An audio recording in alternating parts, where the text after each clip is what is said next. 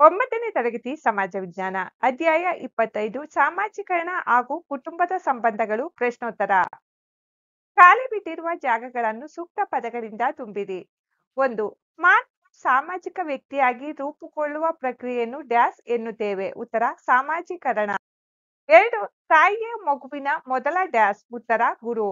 ಮೂರು, ಮಲ್ಲಿಗೆ ಮೊಗ್ಗುಗಳಂತಿದ್ದ ಮಕ್ಕಳ ಮನಸ್ಸು ಡ್ಯಾಸ್ ದಿಂದಾಗಿ ಅರಳುತ್ತದೆ. ಉತ್ತರ, ಸಾಮಾಜೀಕರಣ. ಈ ಕೆಳಗಿನ ಪ್ರಶ್ನೆಗಳಿಗೆ ಗುಂಪುಗಳಲ್ಲಿ ಚರ್ಚಿಸಿ, ಉತ್ತರಿಸಿ. ಪ್ರಶ್ನೆ ಒಂದು, ಸಾಮಾಜೀಕರಣದಲ್ಲಿ ಸಮವಯಸ್ಕರ ಪಾತ್ರವನ್ನು ತಿಳಿಸಿ. ಉತ್ತರ, ಸಾಮಾಜೀಕರಣದ ಬಹುಮುಖ್ಯ ನಿಯೋಗಿಗಳು ಸಮವಯಸ್ಕರು. ಸಮವಯಸ್ಕರು ಜೊತೆಯ ಆಟಗಾರರು ಮತ್ತು ಸ್ನೇಹಿತರಾಗಿರುತ್ತಾರೆ. ಈ ಸಂಬಂಧವು ಸಹಕಾರ ಹಾಗೂ ಪರಸ್ಪರ ಹೊಂದಾಣಿಕೆಯನ್ನು ಆಧರಿಸಿರುತ್ತದೆ. ಒಂದೇ ವಯಸ್ಸಿನವರಾಗಿರುತ್ತಾರೆ. ತನ್ನ ಪೋಷಕರಿಂದ ಮತ್ತು ಶಿಕ್ಷಕರಿಂದ ತಿಳಿಯಲಾಗದ ವಿಷಯಗಳನ್ನು ಸ್ನೇಹಿತರಿಂದ ತಿಳಿಯುತ್ತಾರೆ. ಸಮಾಜ ದೃಷ್ಟಿಯಿಂದ ಈ ಅರಿವು ಅಗತ್ಯವಾಗಿರುತ್ತದೆ. ಪ್ರಶ್ನೆ ಎರಡು ಕುಟುಂಬದ ಪರಿಸರದಲ್ಲಿ ಮಗು ಕಲಿಯುವ ಮೌಲ್ಯಗಳ್ಯಾವುವು ಉತ್ತರ, ಪ್ರೀತಿ, ವಾತ್ಸಲ್ಯ, ವಿಶ್ವಾಸ, ಸಹನೆ ಸದೃಢಯತೆ ಸಹಕಾರ ಮೊದಲಾದ ಜೀವನ ಮೌಲ್ಯಗಳನ್ನು ಕುಟುಂಬದ ಪರಿಸರದಲ್ಲಿ ಮಗು ಕಲಿಯುತ್ತದೆ. ಪ್ರಶ್ನೆ ಮೂರು, ಸಾಮಾಜೀಕರಣದ ಪ್ರಕ್ರಿಯೆಯಲ್ಲಿ ಧರ್ಮದ ಪಾತ್ರವೇನು? ಉತ್ತರ, ಧರ್ಮವು ಸಾಮಾಜಿಕ ಜೀವನಕ್ಕೆ ಆದರ್ಶದ ತಳಹದಿ ಹಾಕುತ್ತದೆ. ನೀತಿಯುತವಾದ ಜೀವನ ನಡೆಸಲು ಬೋಧಿಸುತ್ತದೆ. ಮಕ್ಕಳು ಪೂಜೆ, ಹಬ್ಬ, ಜಾತ್ರೆ, ಉತ್ಸವಗಳಲ್ಲಿ ಭಾಗವಹಿಸುತ್ತಾರೆ. ಧಾರ್ಮಿಕ ಚಟುವಟಿಕೆಗಳನ್ನು ಮೈಗೂಡಿಸಿಕೊಳ್ಳುತ್ತಾರೆ. ಸಮಾಜ ಸೇವೆಯಲ್ಲಿ ನೆರವಾಗುತ್ತಾರೆ. ಪ್ರಶ್ನೆ ನಾಲ್ಕು, ಸಾಮಾಜೀಕರಣದ ಮಹತ್ವವನ್ನು ತಿಳಿಸಿ. ಉತ್ತರ, ಸಾಮಾಜೀಕರಣದ ಮಹತ್ವ. ಮಾನವನನ್ನು ಸಮೂಹ ಜೀವಿಯಾಗಿಸುತ್ತದೆ ವ್ಯಕ್ತಿತ್ವದ ಬೆಳವಣಿಗೆಗೆ ಸಹಾಯಕವಾಗಿದೆ. ಜೀವನದಲ್ಲಿ ಶಿಸ್ತನ್ನು ಮೂಡಿಸುತ್ತದೆ.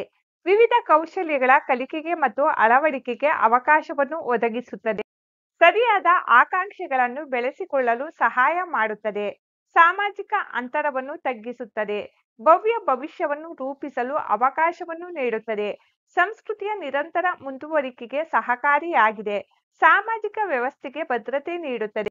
ಪ್ರಶ್ನೆ ಐದು, ಸಾಮಾಜೀಕರಣದ ಪ್ರಕ್ರಿಯೆಯಲ್ಲಿ ಶಾಲೆಯ ಪಾತ್ರವನ್ನು ವಿವರಿಸಿ. ಉತ್ತರ, ಸಾಮಾಜೀಕರಣದಲ್ಲಿ ಶಾಲೆಯ ಪಾತ್ರ ಮಹತ್ವಪೂರ್ಣವಾದದ್ದು. ಶಾಲೆಯಲ್ಲಿ ಶಿಕ್ಷಣ ಪ್ರಭಾವಕ್ಕೆ ಒಳಪಡುತ್ತಾನೆ.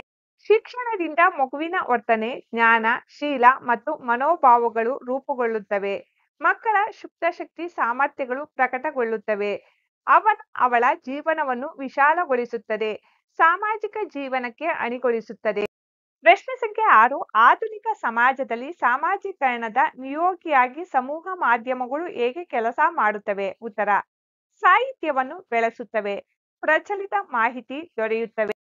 ವಾರ್ತೆಗಳು ಸಂವಾದ, ವಿಚಾರ ಸಂಕಿರಣ, ವಿವಿಧ ಸ್ಥಳಗಳ ವೀಕ್ಷಣೆ, ಅನ್ವೇಷಣೆ ಮೊದಲಾದವುಗಳಿಂದ ಸಮೂಹ ಮಾಧ್ಯಮಗಳ ಸದ್ಬಳಕೆಯಾಗುತ್ತದೆ ಉತ್ತಮ ಸಂಸ್ಕಾರ ಹಾಗೂ ವ್ಯಕ್ತಿತ್ವವನ್ನು ರೂಪಿಸಿಕೊಳ್ಳಲು ಸಹಾಯಕವಾಗುತ್ತದೆ. ಶೈಕ್ಷಣಿಕ ಮಹತ್ವವುಳ್ಳ ಕಾರ್ಯಕ್ರಮಗಳು ಉತ್ತಮ ಪರಿಣಾಮ ಬೀರುತ್ತದೆ.